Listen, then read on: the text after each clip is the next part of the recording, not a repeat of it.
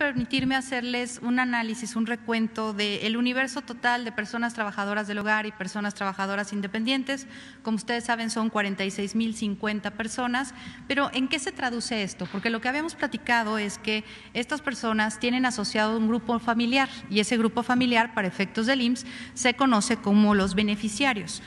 Y este universo entonces se desdobla en 75.982 personas que son beneficiarias también de la seguridad social, lo cual nos da un total de 122.032 personas. Ese es el tamaño del universo real que estamos hablando. ¿Por qué? Porque, bueno, se trata también de las familias, los padres, los hijos, los eh, esposos, las esposas, los, este, los concubinos, concubinarios, que cada una de estas personas puede registrar al Seguro Social.